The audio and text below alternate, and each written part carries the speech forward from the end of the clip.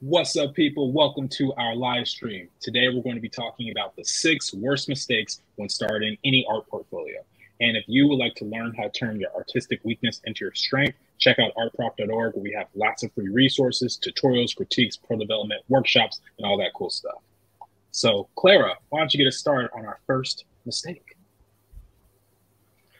This is a big one and if you make this mistake, you can end up wasting a huge amount of time and work, which is not understanding how the specific field works or even how the program you're applying to works. Because there's portfolios for all different types of things teaching job, artist residency, MFA, illustration, animation job, artist grants. And Mia, I could have a nice portfolio, but I can't just send the same portfolio to everybody. Yeah, I think that it's the the saying of um, I don't know something of all master of none. That kind of saying where you really have to curate your portfolio to fit the exact job you're applying for. You can't have an illustration portfolio with a lot of fine art in it if you're going into the editorial field. You can't have um, a teaching portfolio for an MFA portfolio. And we're going to talk more about that as we go along this stream.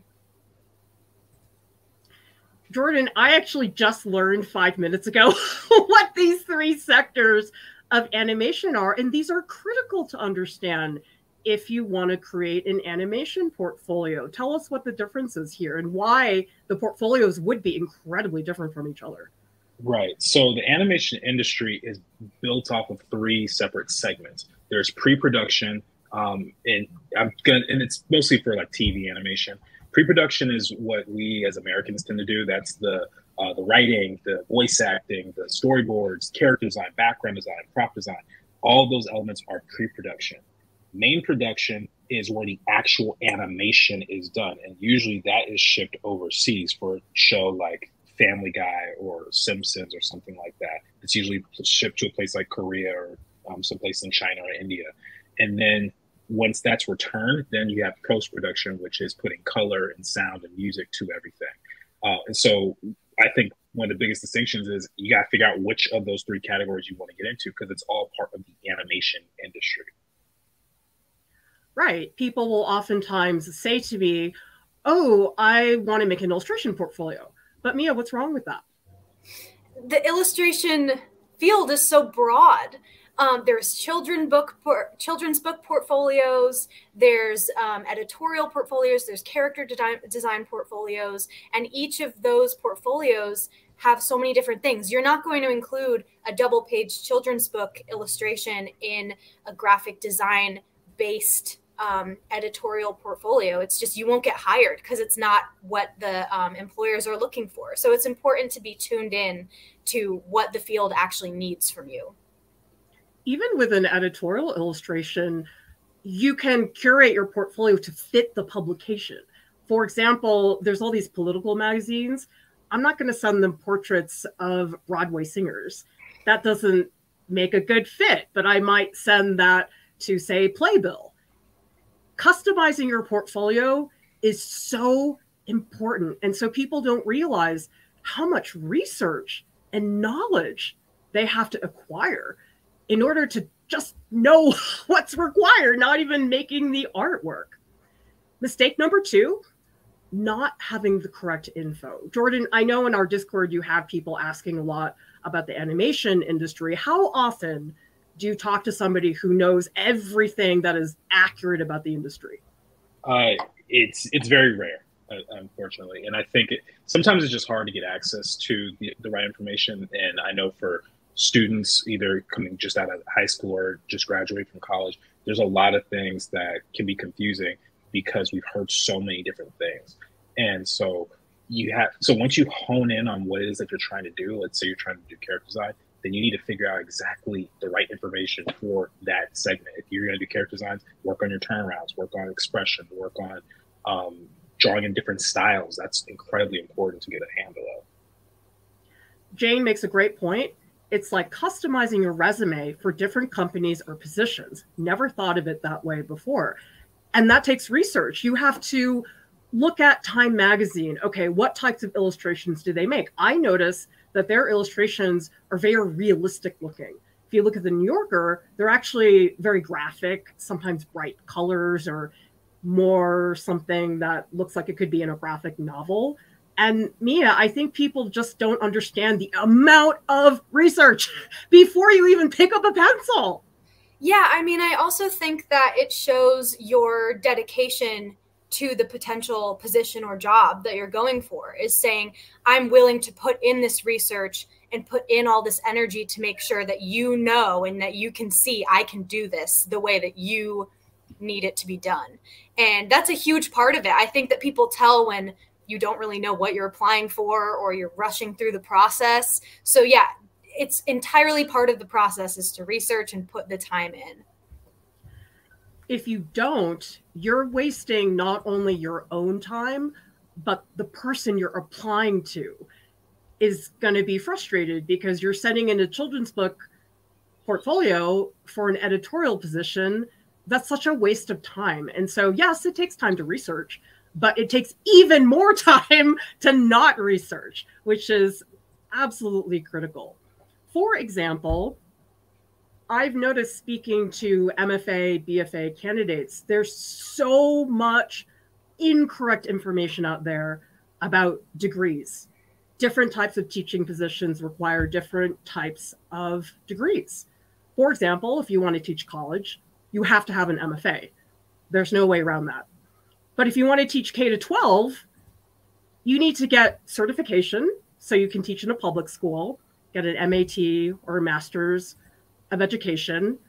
But then it gets even more complicated because let's say you get K to 12, public school, you need certification private school, you don't need anything. I taught at a private school. I just had a BFA. And then college, you need an MFA. Mia, did you know all this stuff? No, it's so complicated. and I feel like I only know it because you know it and you told it to me. so I it like it's so difficult to come across all of these very specific requirements or not requirements, but putting the time in really makes a difference. Um, as of right now, I'm not planning at teaching at a college or anything like that, but you know, it helps a lot to know sort of the path, maybe the trajectory of what you're going for and preparing um, for that path. I, I got to say, it's funny because I teach at a college and I didn't know what half of that stuff you just said. Depends on the school, too. And also, if you want to teach adjunct, they don't care if you have an MFA. But if you want to be full time, you have to have an MFA. There's all these little slight differences that you have to know about. And so Amanda's saying, so should we have different portfolios for different fields of interest? Jordan. Yes, uh, I think that's. I think it's really, really important to make sure that you're accurate in whatever you're applying for. So let's say, for example, I'm applying to a character design job at two different animation studios. One is in the style of SpongeBob, and the other is in the style of a superhero like show the sometimes when they look at your portfolio, they will assume that you don't know how to draw any other way. So you have to make sure you tailor it very specifically. Like some of you guys have seen my work and see that I do like really realistic stuff. I've actually been asked during job interviews, "Can you do really cute stuff?" I was like, "Are you serious? Like really?" And so, so yeah, you have to have different. Mia Kat was telling me in my illustration portfolio, she said, You need to have illustrations with props because not everybody can do props. And I was like, well, can't they tell I can paint? Why does that matter that I have a prop illustration? I think it shows variety. I think, like Jordan was saying, you really have to, your portfolio should take the person by the hand and walk them step by step through exactly what you should like be able to do for the job and what you can do because you're not going to be sitting right next to the person being able to explain your portfolio to them they need to be able to just take it and run with it and get as much as you want to say out of it just on the work alone. So if you want them to know that you can draw more than just one thing, you have to include everything else that you can do because you're not going to be there you're not going to be there to tell them. Actually, it's extremely common that a lot of studio artists don't realize that art history is worlds away from studio art. People will say to me, Oh, I could do it on the side. I'm like, dude, you need a PhD for art history. You can't just take a few classes. Otherwise, you're not qualified to do anything. And art history is extremely academic. You are writing papers, books, you're being published in journals. It is not hands on. Same thing with art conservation. People say, well, I could just get a job being a conservator. I'm like, no, you need a degree. like, you have to have specialized training to do these things. And we have another question here from Amanda who says, How much work should be in a portfolio? Jordan. Um, I think I think usually 12 to 14 pieces is like the average of all the things I've heard. So it depends on the field, right? I'm sure there's some who prefer more, some prefer less, but that's kind of the average that I've heard from my field. It's tricky because my freelance illustration portfolio, I kept saying, I don't think I have enough pieces because I was imagining 20 and Kat was like, no, you could have eight. I'm like, that's it. How about you, Mia? You're working on a children's book portfolio right now. Yeah, a children's book portfolio, character design portfolio, graphic novel portfolio. I have like 18 different portfolios. Um, and each of them took me months to do. And, you know, every, I think that I stop when I feel like the person can get all they need to get out of it. So normally that's around like 12 to 15 pieces, um, some more, some less. But yeah, I try and just go until I feel comfortable. Amanda says, is there a difference between a professional fine art portfolio and an MFA portfolio? Yes, because professional fine art portfolio, you might be sending that to a gallery because you want a solo show. That work better be polished. An MFA portfolio, yes, you want to have a strong artistic vision, but it's not going to the gallery. That is a very different thing. Now, who can quantify what that is? You can't really do that. But it's more about the mindset you have to be in because if I'm preparing stuff for a degree, that's a different portfolio than, oh man, it's going into a gallery. I am going to sell this stuff in this hopefully very fancy, expensive gallery. this is a big mistake too. Not getting trusted professional feedback. Now, Jordan, I know not everybody has access to that necessarily, but if you're watching this, you have access. Jordan, why do a lot of people think they don't need this?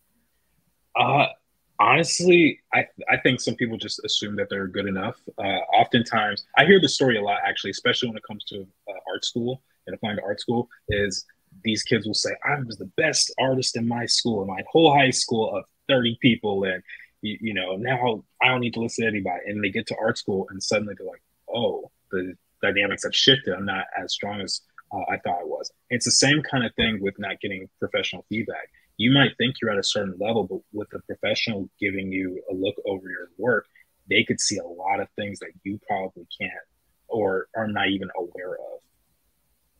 Well, Mia, you prepared your art school portfolio, and because you had art prof connections. Alex Rowe, who used to be a TA, he did a professional comprehensive portfolio critique for you. And can you imagine if you had never gotten that critique and did it totally by yourself? I would be nowhere. um, that was so helpful. I remember I was in the car getting ready to go to SAT tutoring. Um, and I was watching that review and I was like, great, I'm bad at the SAT and I have to redo my portfolio. and so, but you know, it's like more energy and more effort, but doing those changes and getting that feedback makes a world of difference because it shows that you're willing to put in the time and energy and all of that good stuff. So it's totally worth reaching out to someone who knows more than you and admitting that they do know more than you. That's what I did. This is my freelance illustration portfolio as I put it together and I spoke to my former student, Alex Kiesling, who works professionally, has been very successful in the freelance illustration field. And I guess I was just in professor teaching slideshow mode. And I thought, oh, it's so clean. It's so easy to read. I've got my bullet points. And I sent it to Alex. And he's like, no. he gave me so much feedback. He was fantastic. And you can see this is what I had, okay? And this is Alex Kiesling. He was on a stream with us. You check it out. He's got a gold mine of information about illustration. But he said, no, let's do this instead. Jordan, I feel sort of embarrassed that my first impulse looks so crappy compared to what he did. I think that's always it. The, the thing about feedback is you have to be willing to, I want to say not take yourself so seriously because that's not what I mean, but you have to be willing to kind of uh, get punched in the face a little bit with this because it hurts. We've been working on our projects for so many hours, so many days or weeks, months, whatever, and then to have someone go like, "Nope, do it again." It, it's always it always feels like your heart's being like clenched a little bit, but it's to make you better ultimately, especially if you find someone who's actually good at giving feedback. Because you got to watch out. Some people are not the best at giving feedback too. and the thing is, I consider my, myself a professional. I totally would have sent this, but I know how much Alex knows about the field. And I'm looking at this, I'm like, oh my God, if I had sent that, I would have felt so humiliated. So, as you say, Mia, it's more work. Number one, to seek out the opinion. Number two, to make those changes. And I suspect maybe that's why people don't do it, is because they're sort of afraid to be told they're doing it wrong or have to redo things. Oh, yeah. I mean, something that I struggle with is trying to get it really polished and finished enough to send to the professionals to get feedback. But then at that point, I'm like, well, they're just going to tell me to change anything, and I already did this much work, and I don't know if it's worth it. Um, but it always is. It's just more energy, and I'm tired all the time. we love the honesty tell, there.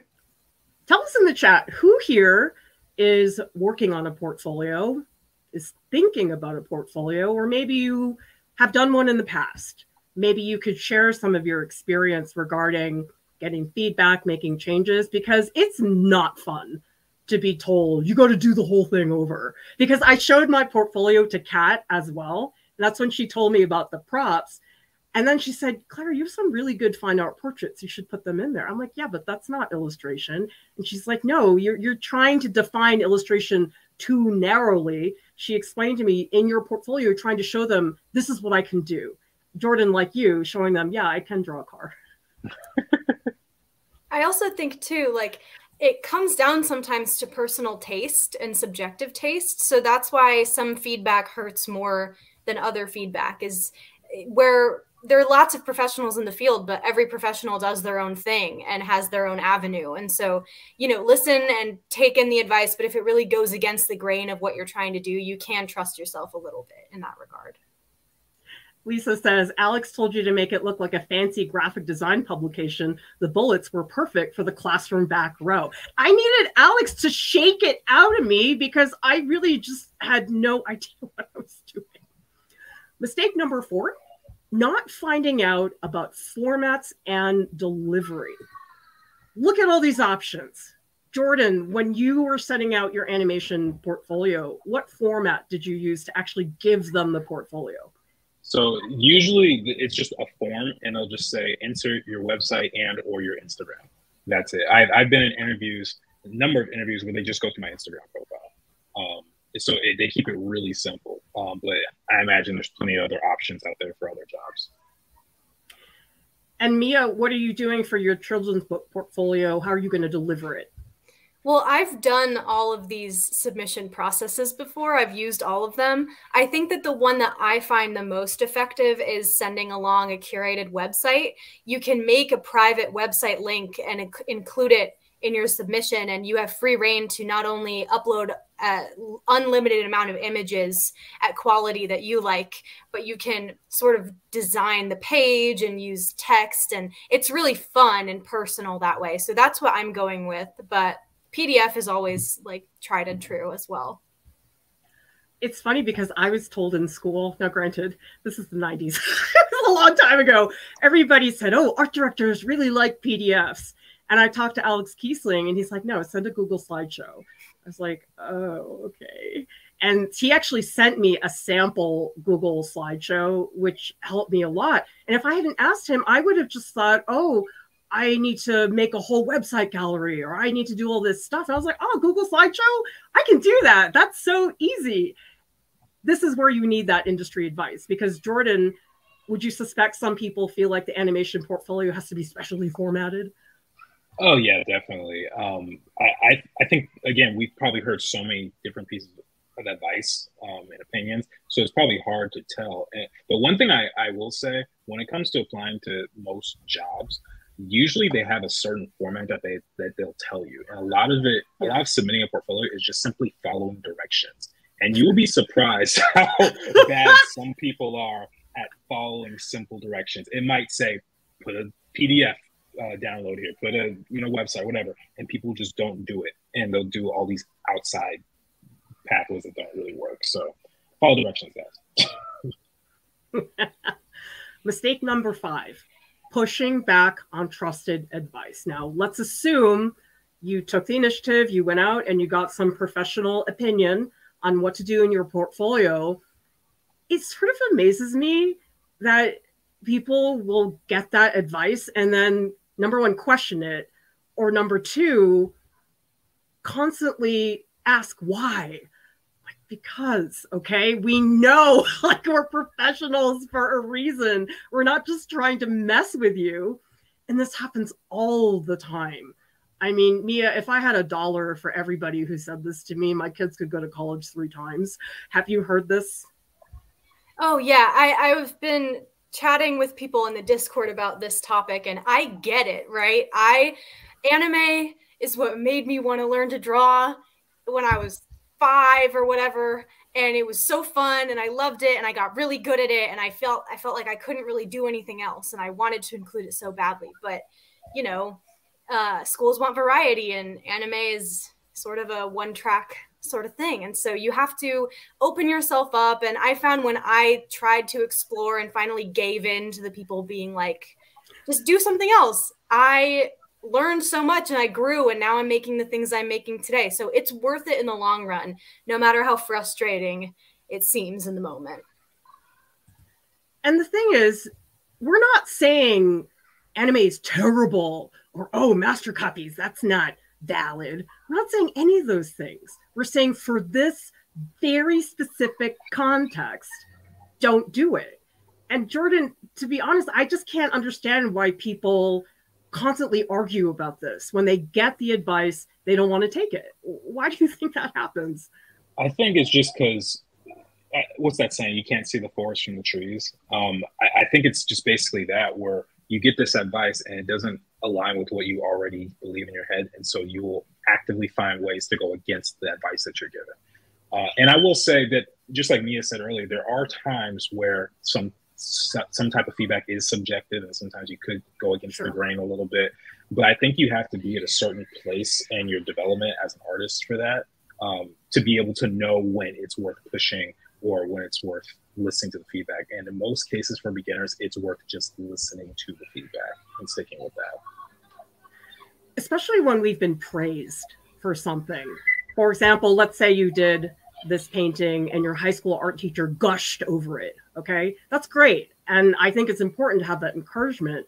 But Mia, you also have to accept the reality that you talk to somebody else who says, uh uh-uh. uh. But then people say, but but they liked it so much. They liked it. So how do you deal with that, Mia? I think just like you said, sort of placing your trust in um, the professional in the field that you might want to go into, or the professional um, portfolio reviewer for a BFA program that you really like, or something like that. I think that um, it's worth listening and putting your trust into the person that's had success in that specific field and um, who might have some insider tricks and tips to give you along the way. This is my favorite one when people will say to me, Well, couldn't I put in a sculptural illustration into sculptural installation into my illustration portfolio? Isn't it going to make me stand out? I'm like, No, I don't think so. That's not going to happen. I mean, eh, would you serve this big lasagna with tons of cheese to somebody who's lactose intolerant? I mean, just don't. All right. It's a matter of fit. C. Cantrell says, I agree with Kat. What you are selling is your point of view as well as skills. Here I am, Your individuality is what will make you stand out. But I couldn't see that. I was so blind to that suggestion. I'm so glad she told me. Jane says, We always talk about needing photography skills to photograph our art. This is really highlighting how true that is for a portfolio, not old school where you're carrying around a literal folder of work. Yeah, and Jordan, it takes some tech stuff to figure this out.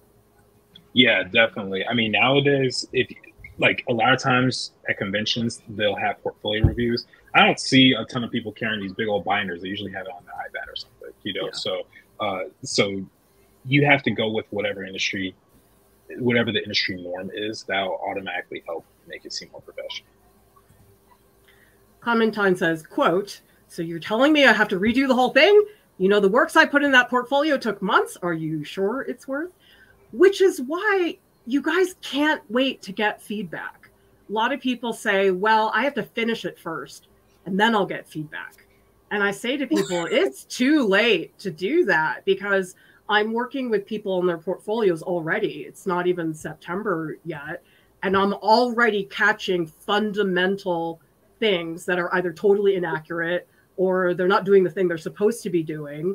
And so, Mia, I feel like what we're really pushing is you guys have to know the arc of the process. The portfolio is not just one thing you stop in and then figure it out. Yeah, I think a lot of this just loops back to the first point, which is just knowing what you're doing and what to expect and what to prepare and doing that research because it's like building a castle on unstable ground, right? It's just going to collapse if you don't tend to the fundamental issues and the structural issues. So it's that's the most important thing.